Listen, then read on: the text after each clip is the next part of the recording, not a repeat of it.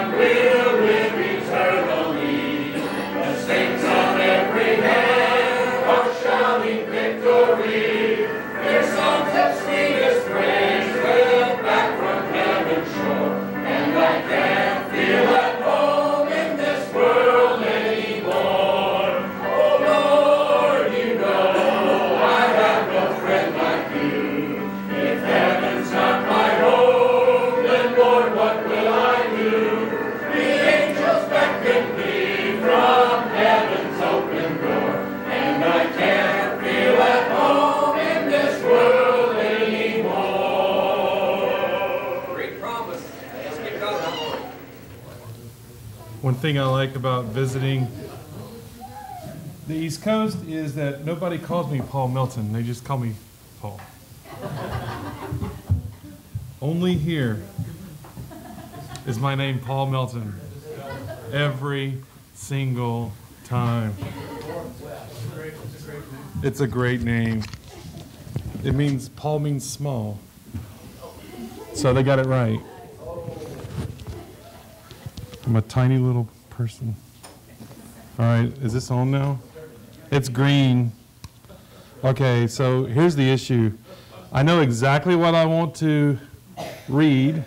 I just don't know which order I want to read it in. So, so I guess we'll start with I'm going to regret this, but let's start with James 1.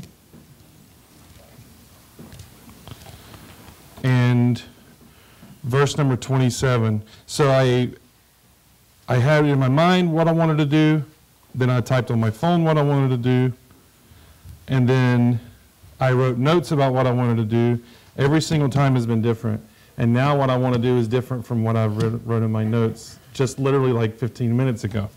So I'm not sure how I want to go about this yet. And it's mainly the order of things. It's not, it's the same thoughts.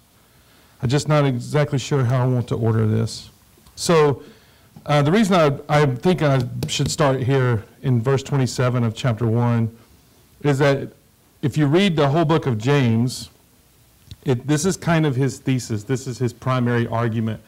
If you read, so you go through the just like a regular re- a paper. You would read a paper and it would be like the introduction and it would be like, this is the topic and this is who I am and this is what I'm studying about or researching about. And then you get down towards the end of like a few paragraphs and it's like, bam, and there's the argument that they're trying to make. And then they go through the rest of the paper trying to support that argument with evidence. And if you read James, he kind of is always coming back and supporting this verse. And this is um, this is a bold statement, right? Pure religion and undefiled before God and the Father is this to visit the fatherless and widows in their affliction and to keep himself unspotted from the world. So we see James later on, he's talking about works. We see James later on talking about deeds and faith. We see James later on talking about humility. We see James later on talking about um, boast. Now, this one we'll actually get into about boasting of things you can't control. We see James talking about taking advantage of people. We see James always coming back to this argument, this, this primary argument that he's making here. Pure religion and undefiled before God and the Father is this to visit the fatherless and widows in their affliction and to keep himself unspotted from the world. Um, my grand, I, I, visit my grandfather every summer. Is the driving reason we actually um, go to North Carolina at this stage of my life, anyway. Um, he's 96, World War II veteran, infantry. Um, never been on a plane, but he toured the world, and then um, so he's got all these great stories, but nobody really talks to him long enough to actually hear his stories. Because he, what he does is, he has, as my brother puts it, he has this collection of greatest hits and when you sit down with my grandfather, he starts pulling those greatest hits off, right? And if you don't sit long enough, you're just going to hear the greatest hits over and over and over again. But if you sit down with him long enough, then he starts getting into the deep tracks, right? He starts getting into stuff you've never heard before. But it takes time. It takes a lot of time. And then um, he's had multiple strokes and heart attacks, and he's been a preacher actually on my phone he's like, this was him just, uh, that was him just a few weeks ago, actually, preaching. He's 96. And then, um, so he stood up behind the pulpit and preached. He lives on his own. Stopped driving about two years ago. But it's just something that it is. And you just, we never visit with him long enough to hear those stories. Well, last summer, they moved him into this bigger house. So there was enough room for my family to stay with him the whole time. And so we watched MeTV constantly, and then, um, which, by the way, some great shows that I didn't know about. um, on MeTV. So anyway, um, so we, I, I, was, I had all this time to just sit there and just let him talk. I didn't have to say anything, just let him talk. And then my grandfather became a different person to me um, last summer. He just became a completely different person because all of a sudden I'm hearing things, I'm like, whoa, wait a second, I've never heard this before.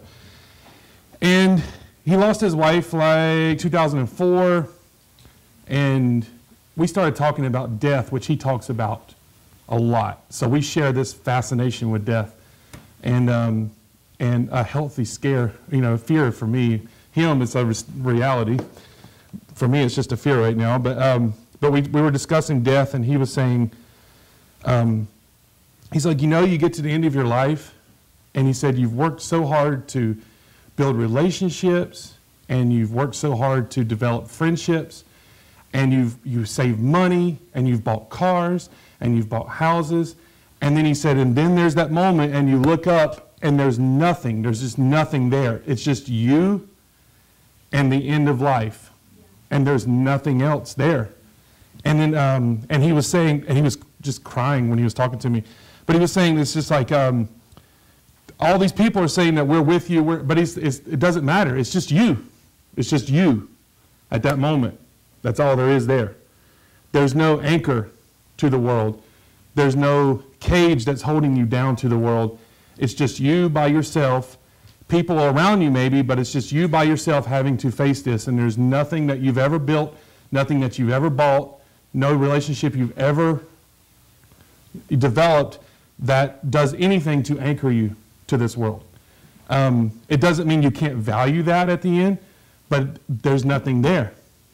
You're gone. I mean, you're going. It's just like I remember when Stephanie had her first baby. I think it was Kylie. I'm pretty sure it was Kylie because this doesn't make sense if it would be another baby besides Kylie. But um, she was just like, in her mind, she was like, okay, if I get up and I walk out of this room, I'm, I don't have to have this baby. You know? So in her mind, she had, she, it would just, it would just, I'm, if I just get up and I walk out of this room, I don't have to have this baby. And there's, there can be people and doctors and all of that around, but that's something that she had to face, and it had nothing to do with anybody else. It was her.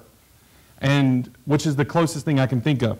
But to hear that come out of my grandpa's mouth, it was really odd because um, he's everybody's favorite person. And you would think that if anybody felt connected to this world, if anybody had these deep relationship ties and something that anchored them to this world, it would be him.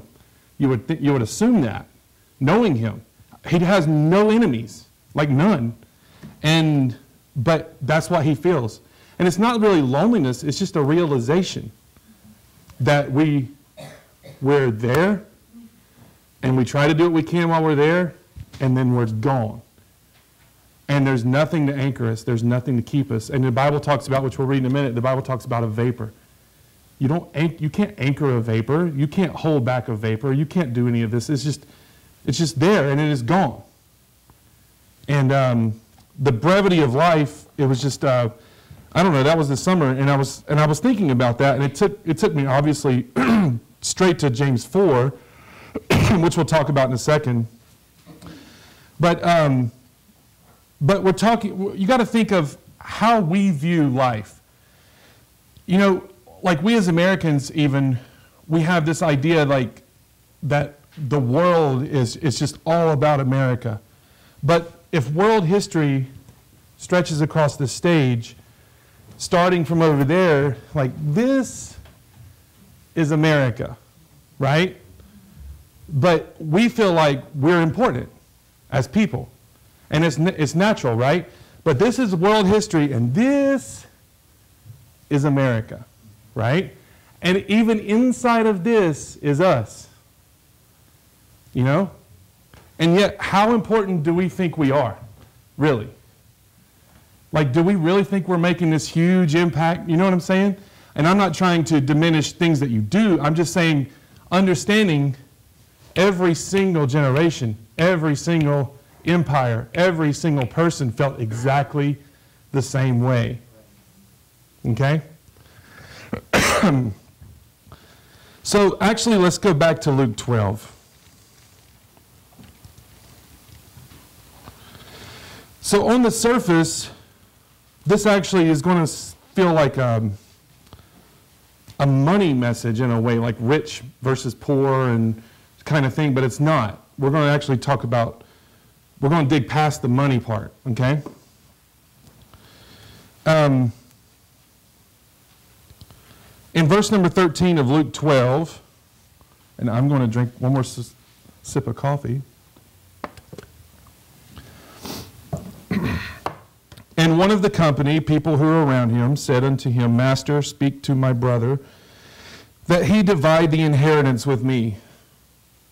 Now, do you think that they were dealing with the same problems then that we're dealing with now? I mean, that should be enough, that should be enough right there to prove that humans are the same no matter when they are or where they are. And one of the company said unto him, Master, speak to my brother that he may divide the inheritance, divide the inheritance with me. He said unto him, Man, who made, I love that. Man, who made me a judge? Um, who made me a judge or a divider over you? And he said unto them, Take heed and beware of covetousness, for a man's life consisteth not in the abundance of the things which he possesseth. And he spake a parable unto them, saying, The ground of a certain rich man brought forth plentifully. And he thought within himself, saying, What shall I do, because I have no room where to bestow my fruits? And he said, This will I do. I will pull down my barns and build greater, and there will I bestow all my fruits and my goods. And I will say to my soul, Soul, thou hast much goods laid up for many years. Take thine ease, eat, drink, and be merry. But God said unto him, Thou fool, this night thy soul shall be required of thee. Then whose shall these things be which thou hast provided? So is he that layeth up treasure for himself and is not rich toward God. Now, all my life, and all of our experiences are different, and you've sat under different preachers, but all of my life, this verse has always been about um, don't get greedy. You know, if you have what you need, you know, kind of like this idea, like Eastern idea, like if you have what you need, then you just take what you need and you don't grow more and then build bigger barns. But that's not what it's saying at all. Like if you decide that, like, okay, my, my fields are great and I can buy this extra 20 acres and then you can develop those 20 acres and you can build bigger barns, then go for it. There's no problem with that. So what's the issue here? Okay? He's not saying that it's wrong to build bigger barns. He's not saying that it's wrong to make more money. He's not saying that it's wrong to increase your goods, increase your fields. What is he saying? What is the problem here? I mean, you can answer me. It's not a rhetorical question. Huh? The focus, the value. Where, where's the value? Where, where's the, what's the basis of the valuation on that barn, on that bigger barn, on that bigger field? What is he actually speaking against here? What's the question? What drives this parable? He's saying, huh? Yeah, it's, it's, it's proud, but you can still have bigger barns and not be proud of them, right? You can be wealthy in humility. Like, I don't think it's that necessarily.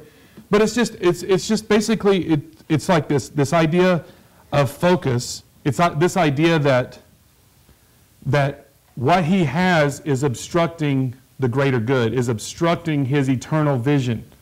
Okay? So what Jesus is saying is like, you're coming up and you're asking me about some inheritance. Like, I'm literally healing sick people here. Okay? Like Dr. John. I'm literally healing sick people. I'm literally walking out into this desert or wilderness, going to people's homes and raising dead people, and you're coming to talk to me about inheritance, about your money. And he was just like, even if you got money, even if you got the inheritance, even if I said he gives you all of it, and you go out and you, and you spend it wisely, and you grow that wealth, even if you did that, and then you die, whose is it now? What does it matter? Now, he's not saying don't go out and work. Actually, the Bible is for work. He's not saying don't go out and, and, and you know, avoid work and, and, then, and then you just, you know, don't make yourself wealthier or whatever. He's not saying that. Now, in other places, he, he, he talks about the dangers of that, does he not? But in this right here, that's not what he's saying at all. He's just saying, no matter what it is, that's something that has nothing to do with what I'm doing, with this eternal good, right? So what you're doing is, is you're letting this stupid, wealth, this inheritance, and it doesn't say what the inheritance is. You know, I mean, the inheritance, like, I've seen families fight over coffee cans. You know what I'm saying? I mean, like, it, it doesn't have to be great wealth. We're not, it might not have even been talking about millions of dollars. It could have been literally like, he gets the shovel and I get the rake, right? You know what I'm saying? I mean, like, it could have literally been, I mean, we've all seen this, right? In families that are fighting over inheritance. We don't know what the size of the wealth is, but all we know is, is that Jesus is saying it doesn't matter because then you're going to die, and then somebody, I got to answer this same question all over again about your money. You know what I'm saying? It's just stupid. Why are we even talking about this? So you're going to get this money, and then I'm going to outlive you. I mean, obviously Jesus didn't say this, but I'm just like, and then I'm going to outlive you, then you're going to die, and then Junior is going to come up and he's going to ask me the same question. Why doesn't, why can't Junior and the third split the inheritance? And we're talking about the same money over and over and over again because it's not yours. And it's going to be here when you're gone. So there's this eternal thing that we're missing. Okay? So the way I've always heard that was the bigger barns thing, but I'm like, ah, that's not really exactly what he's saying there. So maybe you've heard that your whole life, but I haven't, so I thought I would mention it. So it's not the money, it's this other shallow approach to life. It's a very shallow approach. If, you know, um, I completely understand what it's like to have things happen that are out of your control where you need money. Okay? I know what it's like. I've had situations in my own life, but I, have I've seen much, much harsher situations in other people's lives where it was things that were out of their control that forced them to have to think about money. Like, I'm literally, I have to eat, I have to have shelter, those kinds of questions. And, and I'm not talking about that. I'm talking about people who have lost sight of this eternal vision. They can't see past their wallet.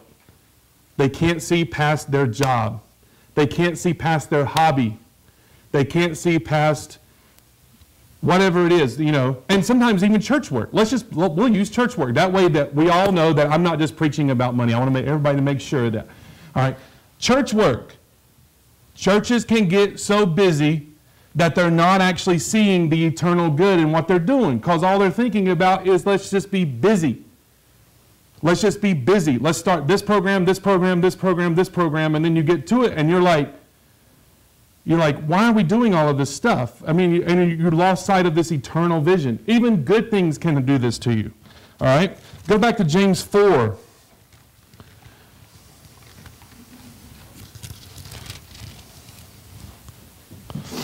So he talks about in James 2, he talks about basically faith and deeds. And in James 3, he talks about keeping uh, the tongue and then having control, of, you know, self-control. Um, I'm not going to talk about that because I'm 300 pounds. So I'm just going to move right past self-control. We're just going to ignore self-control and just act like it's not there. All right, and then we're going to go right over to chapter number 4. From whence come wars and fightings among you? among you, come they not hence even of your lust that war in your members? You lust and have not, you kill and desire to have, you cannot obtain, you fight and you war, yet you have not because you ask not. I mean, he's really covering all of his bases here, right? You ask and receive not because you ask amiss, that you may consume it upon your own lust. So he's like, even when you ask for the right things, all right, I want this church to grow, right? That's a good prayer, right? I want this church to grow so it can reach the community. And if they pay me this sizable salary, we'll just be okay with that too. You know, you know what I'm saying? So even good things can become something different. All right? Um, ye ask and receive not. Ye adulterers and adulteresses, know ye not that friendship of the world is enmity with God? What did he talk about in James 1.27? Pure religion and undefiled before God and the Father is this to visit the fatherless and the widows in their affliction and to keep himself unspotted from the world. Are we going back to the thesis here? Is he trying to provide some support for that? Do you think that the scripture saith in vain, The spirit that dwelleth in us lusteth to envy, but he giveth more grace? Wherefore he saith, God resisteth the proud, but give grace to the humble. Submit yourselves therefore to God, resist the devil, and he will flee from you. Draw nigh, to God, and he will draw nigh to you. Cleanse your hands, you sinners, and purify your hearts, you double minded. Be afflicted and mourn and weep. Let your laughter be turned to mourning and your joy to heaviness. This is starting to sound like Psalms now, isn't it? Um, very Jewish uh, in its tone, right? If you will. Um, humble yourselves in the sight of the Lord, and he shall lift you up. I mean, this is, this is sounding like he's just pulling straight out of Psalms. Um, speak not evil one of another, brethren. He that speaketh evil of his brother and judges his brother speaketh evil of the law and judges the law. But if thou judge the law, thou art not a doer of the law, but a judge. There is one lawgiver who is able to save another uh, and to destroy. Who art thou that judgest another? Be careful how you approach judgment on people because what you're doing is you're doing more than saying, Well, I'm a fruit inspector. That was what it was when I was growing up. We're fruit inspectors. And then uh, the Bible says you need to have the fruit of the Spirit. I'm inspecting your fruit or whatever. What it's actually saying here is like you're, you're changing the order. The, it, not, I wouldn't say social order, but you're changing the hierarchy there. And you have lawgiver, you know, and you have judge, and you have the person who has to obey the law, and you're basically trying to elevate yourselves up in that rank. Um, verse 13, go to now, basically, listen you, that uh, ye that say, Today or tomorrow we will go into such a city and continue there a year and buy and sell and get gain. Whereas ye know not what shall be on the morrow, for what is your life? It is even a vapor that appeareth for a little time and then vanisheth away. For that ye ought to say, If the Lord will, we shall live and do this or that. But now ye rejoice in your boastings. All such rejoicing is evil. Therefore, to him that knoweth to do good and doeth it not, to him it is sin. Now, are we talking about plans obstructing eternal vision again? Okay? What's the John Lennon song where he says, Life is what happens while you're making plans, right? Is that not true? I mean, like, we make plans, we make plans, we make plans, and, it, and I'm like, it's everything's a 10 year plan. The first five years is the actual is planning it. The next five years is trying to make that plan happen. So you miss that five years. So for every 10 year plan you have, you've just lost five years. Or at least that's the way it's been in my life anyway. So anyway, so like um, so we, we, we plan and we plan, and our conversations are consumed by planning. And it could be good plans. There's nothing wrong with planning for the future. There's nothing wrong with planning for your children. There's nothing wrong with planning for education. There's nothing wrong with planning for retirement, whatever those things might be. But what's happening is, is like you're planning on borrowed time. You're planning for borrowed time. Now, I have known, and you have known, because you can't get to hardly any age without knowing people who die an untimely death. In lot, a lot of different ways. Just in our wedding party by itself, we had a, uh, one, uh, we had a 20-year-old who died in a car accident. She was nine months pregnant. She was two weeks from her due date when she was killed in the car accident. They saved the baby, and then uh, the baby's still alive, and uh, that's been 20 years ago, so, or more. So that, and then we had another friend of ours who was an usher in, in our wedding and crack overdose, and he's gone. So both of them happened very young, less than 25 years old, both of them.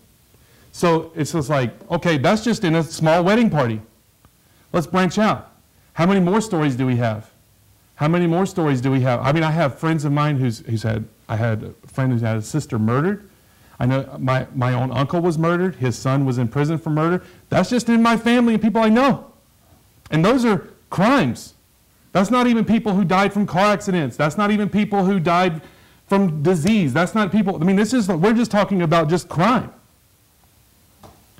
You know? This stuff happens, guys. This stuff happens. Don't you love talking about death?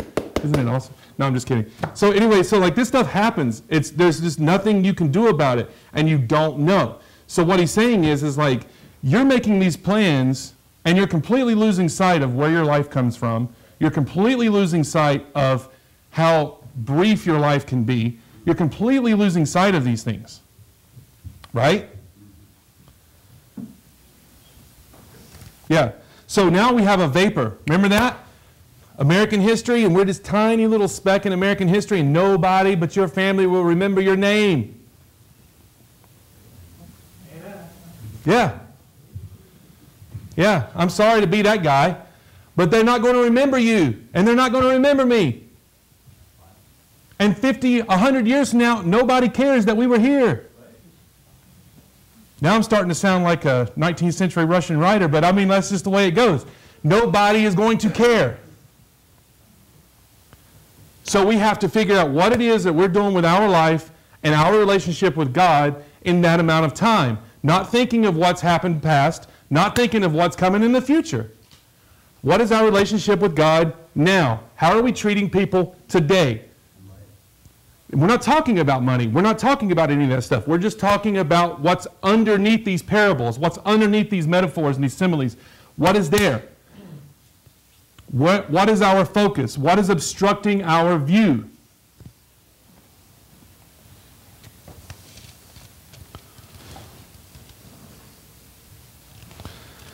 In James number uh, chapter 5, he uses that phrase again, go to now, which is like, listen up. Ye rich men, weep and howl for your miseries that shall come upon you. Your riches are corrupted, and your garments are moth eaten.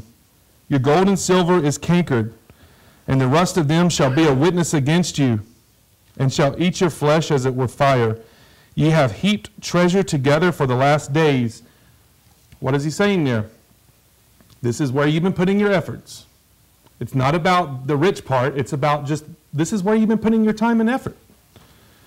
Behold the hire of the laborers who have reaped down your fields, like mowed your fields, which is of you uh, kept back by fraud, crieth. And the cries of them which have reaped are entered into the ears of the Lord of Sabaoth. And that's going back like we talked about this Jewish language that they're using. Yes, very Jewish. Um, yeah, so now he's getting into something a little bit deeper. He's saying that your fraud is going to come back to judge you. Defrauding people or whatever, you know, is, is going to, this is going to come back to judge you. The way you treat people for personal gain, the way you manipulate people, this is all going to come back to bite you.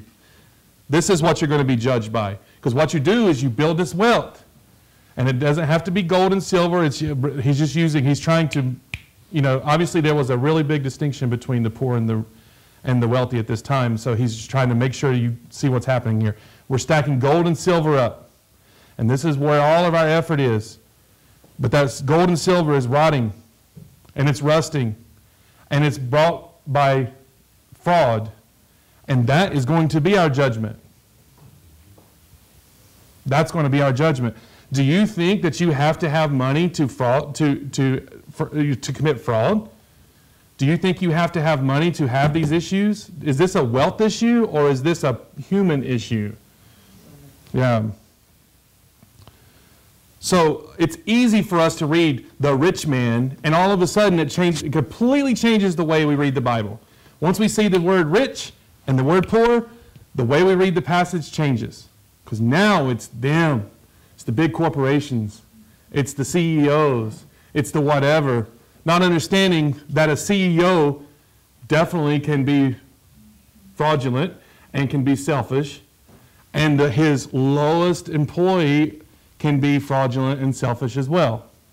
So, this person over here who makes far less money can embezzle money from this person over here. But this isn't a Robin Hood society, is it? So, that's just as wrong as the other guy. It's all it's this human problem. It's not about the amount of money, and it's easy for us to think that. Ye have lived in pleasure on the earth and been wanton. Ye have nourished your hearts as in a day of slaughter. Ye have con- condemned and killed the just, and he doth not resist you. Now I want you to go back to James chapter number 2. Now you can see kind of why I was struggling with how the order I wanted to present this stuff, but it was. Um, in verse number one, he says, My brethren, have not the faith of our Lord Jesus Christ, the Lord of glory, with respect of persons. For if there come unto your assembly a man with a gold ring and goodly apparel, and there come in also a poor man in vile raiment, and ye have respect to him that weareth the gay clothing, and say unto him, Sit thou here in a good place, and say to the poor, Stand thou there, or sit, sit here under my footstool, are ye not then partial in yourselves, and are become judges of evil thoughts? Hearken, my beloved brethren, hath not God chosen the poor of this world rich in faith and heirs of the kingdom which he hath promised to them that love him. But ye have despised the poor. Do not rich men oppress you and draw you before the judgment seats? In other words, aren't these the same people who are like taking your money and taking you to court and suing you all the time? And yet you're just, uh, um, yet you're just, uh, you're, you're, you're favoring them. I was about to say something different, but it's probably not appropriate for this venue. So uh, you're, you're favoring them. Like you're, you're, you're kissing the hand, if you will, of, of the rich people. All right? So, who's at fault here? The rich, the poor, or the person who is receiving both? Right. Who's at fault? It's not the rich man. It's not the poor man. It's the person who is at the door greeting them. Right? But when we read it, we get that rich poor thing. It changes the way, oh, the rich are evil. We shouldn't, we should probably go after the poor, you know, blah, blah. it's not that. It's just saying that we should be equal in the treatment of others. Okay? So we got to see where do, where do we fit in this? It's not about rich or poor, it's about how we receive both. And why are we spending so much time and effort as Christians and I've seen it in multiple churches where we just embrace people when they come in because we know they have a checkbook. We know they have a checkbook. And there's actually a term, it was a business term first, and then churches started using it some, and it's called negative growth. And what that means is, is that you're bringing in people who don't give money. So your church is growing in number, but not in money. And that's negative growth because you have more people to take care of, but you have the same amount of money. But should a church ever use a word like that or a phrase like that? Negative growth? You see what I'm saying? And we, I've seen it over and over in churches where it's just like, these are the same people who in your community vote against you having zoning so that you can put your church in these places. These are the same people who are driving up prices on land and all this stuff that we're welcoming in and we're saying, but you have a checkbook. Welcome. You know what I'm saying? And that's what he's saying here. They're the ones suing you. They're the ones taking advantage of you. Why are you welcoming me? why are you spending so much time and effort welcoming these people when you have someone over here who is vile, unclean, whatever the situation is, and that's where we're at.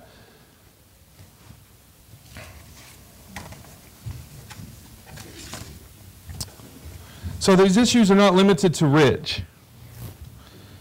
So what I wanted to basically talk about here for the last two minutes, and I'm done. The last two minutes, and then I'll say, I'll say a prayer, and then we'll be gone. And I refuse to watch the Super Bowl, thanks to the officiating in the NFC Championship game. All right, so I, I, I could not preach today without saying that.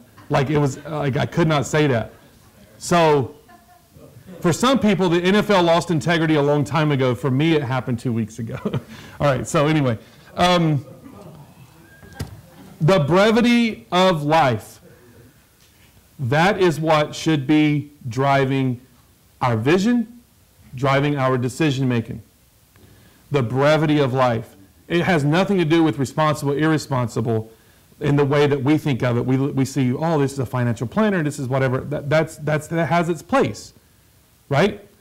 What I'm talking about is understanding and respecting where your life comes from, understanding and respecting how short your life is, and understanding and respecting how little it's going to matter. Like, this is the only time you matter. This is it. And if you blow your life, then there's no more time for you to matter. It's gone. Nobody's going to remember your name or whatever. This is your time to matter. Okay? Even the, even the greatest people who have made the most impact in this world, how many times a year do you think of them? And I'm just going to throw names out there. It has nothing to do with anything, but I'm just so you know. Starting with Mother Teresa. How many times do you actually think about Mother Teresa? How many times do you actually think about some world leader who did something extraordinary? It's like maybe minutes of a year. Maybe minutes of a year, we might think about that person. And they were probably the most influential human beings on earth in our lifetime or in our generation. And we think for some reason that we can do all this planning and we can form this inheritance and we can do all this other stuff, and somehow our life is going to make this huge impact outside, outside of us. And it's not going to. This is your time. Now I sound like the Goonies. Now is our time. Our time, right? So it's like, this is your time. And what you do with it today, what you do with it tomorrow, that's it. And it has nothing to do with like depressing subject of death. It has nothing to do with how wealthy you are, how poor you are, whatever. This is it. You get the one shot. And I know that you've heard it over and over again. I've heard it over and over again my whole life. And I tell students in my class, I teach seventh and eighth grade, and I'm like, you will go, you will wake up and you're an adult. You wake up and you're there. You're like, at first, you're like, oh my gosh, this is my first job. This is so cool. I'm flipping burgers or I'm frying fries or I'm doing whatever. This is neat. Oh my, I got a $50 paycheck. Boom. And then bam, you have kids, you have a full time job, you have rent, you have a car payment, and you're like, where, did this, where did this happen? When did this happen? Like you wake up and it's there. And then you wake up and it's over. Yeah. And we do not, I mean, I think it's, I wouldn't say, I won't say evolutionary because I'm in a church, but we don't, but we have this thing that, like, we can't, we can't get our minds around it. We can't quite grasp it. And no matter how many times we talk about it, we go out and we do the exact same thing. And, and Jesus and James are basically saying in these two passages, don't do it. Don't do it. I don't want to talk about inheritance. I don't care. Don't do it. Change your focus. Don't do it. And that's all they're saying. And I think about my grandfather, who actually says it feels like life is taking forever for him. But, um, but anyway, I think about my grandfather, and he's sitting there saying that when you get to the end, there's nothing there. There's nothing there. There's all those relationships, all the money, all the jobs, all the effort I put into all that stuff, and you wake up and you're looking there and you're like, this is about to happen. There's nothing that can hold me back, and nothing that this other person can do is going to help me. I'm on my own. You know? And I could not get this off my mind, and when I can't get something off my mind, that's what I go with because I'm like, there must be a reason I can't get it off my mind. So I know this is crazy depressing at 11:30 on Sunday morning, and I get it. I get it. But here's the deal: like, you can make decisions this week that will change this. So I'm not saying that you have to change your whole life plan. I'm not saying any of that stuff. This is depressing, but this is something that you can do today that completely changes your, your focus and your vision. It doesn't take trips to the altar. It doesn't take you reading your Bible every day. It doesn't take you committing to this big mission project or anything like that. It's literally what can I do in the next 24 hours that will demonstrate that I have not lost sight of my eternal vision and that I am not obstructed. My, my view is not obstructed. It doesn't take any self-discipline in that sense for these all this other stuff. All it just takes is like, what does he say in one in one chapter one verse 27, the thesis? The, we'll read it one more time to close it out. James, I don't want to misquote it. James chapter 1, and then I'm done. I'll pray. James chapter 1, verse 27 Pure religion and undefiled before God and the Father is this to visit the fatherless and widows in their affliction and to keep himself unspotted from the world. Lord, thank you for the opportunity to come preach today. and it's always nice to come back and see friends and, and be part of this church that was so gracious to us for our, here, our entire time here. And I pray that everyone will stay safe as they go through the week and as they travel back and forth to work and stay safe on their jobs and keep their families safe and a hedge around their families. In Jesus' name we pray, amen.